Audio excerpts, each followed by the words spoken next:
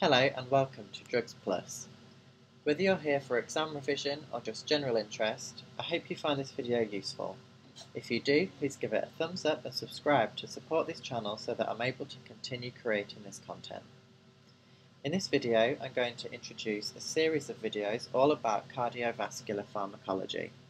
In order to set the scene, I'm going to explain the process of cardiac excitation contraction coupling the way that cardiac cells convert electrical energy into kinetic energy. So, cardiac excitation is triggered by the sinoatrial node in the wall of the right atrium. At the start of the cycle, the SA node cardiomyocytes are at rest, meaning their sodium channels are closed and the membrane potential is around minus 90 millivolts. However, some sodium does leak into the cell via gap junctions. When this sodium influx depolarizes the cell membrane sufficiently at around minus 70 millivolts, voltage-gated sodium channels open, causing a marked influx of sodium. When the cell depolarizes to around plus 20 millivolts, voltage-gated sodium channels close, and voltage-gated potassium channels open. This causes a potassium efflux, but when the membrane becomes repolarized to around plus 5 millivolts, voltage-gated calcium channels open too. This is a vital stage, as this calcium is what causes the cells, and therefore the heart, to contract.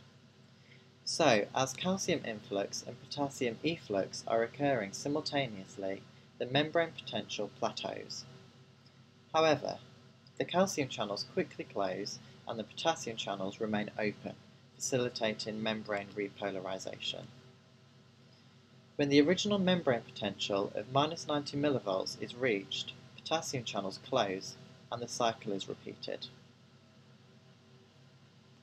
Now, looking closer at the cardiomyocytes, these cells have multiple invaginations known as T-tubules, which are packed with calcium channels in order to bring the calcium closer to the contractile machinery within the cell. So to go over the excitation cycle again, some sodium enters the cell via gap junctions. This causes voltage-gated sodium channels to open, causing sodium influx. When this reaches plus 20 millivolts, the potassium channels open and sodium channels close, causing potassium efflux. Here, calcium channels also open, causing calcium influx and these then close and the potassium channels remain open, causing repolarization. The potassium channels then close and the process is repeated. So, when the calcium enters the cardiomyocytes from the T-tubules, this is known as a calcium spark.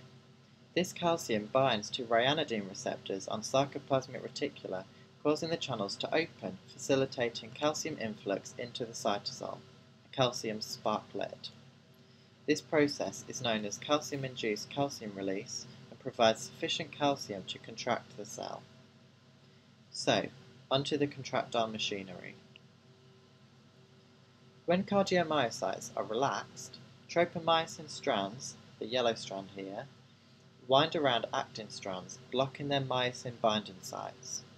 However, upon calcium entry, calcium binds to troponin C molecules, which induces conformational changes in the tropomyosin st strands to which they are attached. This pulls the tropomyosin away, thus exposing the myosin binding sites on actin strands. This allows myosin heads to bind to actin, forming a cross bridge. The ATP molecule to which the myosin head is attached becomes hydrolyzed into ADP, an inorganic phosphate. This provides the energy for the rotation of the myosin head, producing the power stroke. At this point, ATP reassociates to the head, causing it to return to its original conformation before new cross bridges are formed and the process is repeated, causing the cell to contract. However, just as important as excitation-contraction coupling is de-excitation-relaxation coupling.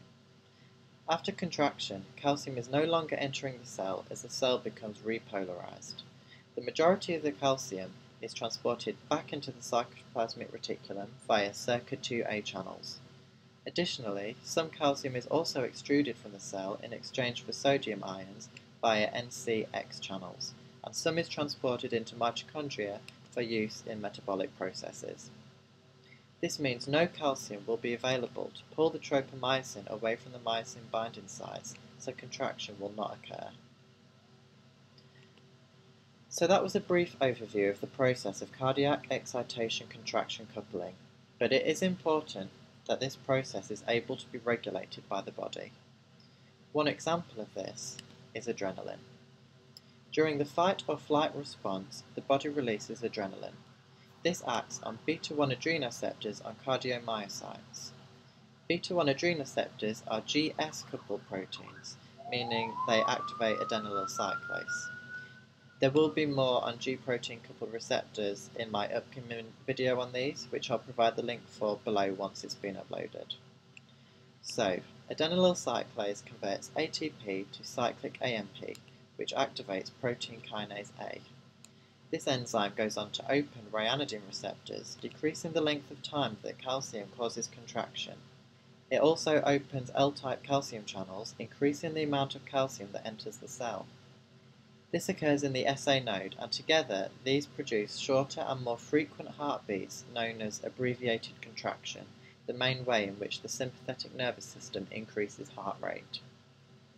This is in complete contrast with the regulation by the parasympathetic nervous system.